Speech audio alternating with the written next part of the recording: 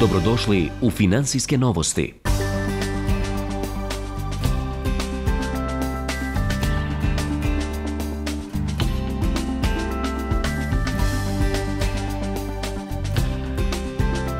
Raiffeisen banka je uzela učešće u projektu koji organizuje udruženje InfoHouse, Volontiraj kreditiraj, te je na jedan radni dan angažovala srednjoškolce u svojim poslovnicama širom Bosne i Hercegovine. Zadovoljstvo nam je da smo u mogućnosti e, danas angažirati e, učenike srednjih škola na jedan radni dan.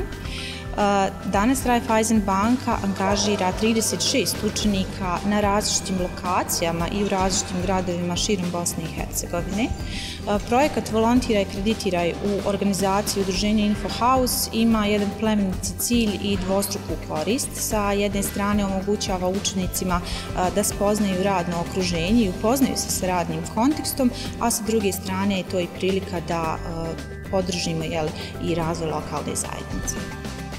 Volontira i kreditira je projekat koji je posvećen srednjoškolcima sa prostora cijele Bosne i Hercegovine. Glavni cilj projekta je jačanje kapaciteta mladih, kako bi bili u mogućnosti da preuzmu odgovornost za svoju profesionalnu budućnost, razvoj lokalne zajednice, ali i poboljšanje statusa mladih u cijelini.